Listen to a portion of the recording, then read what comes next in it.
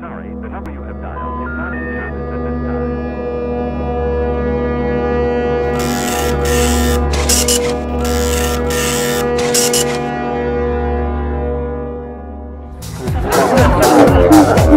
time.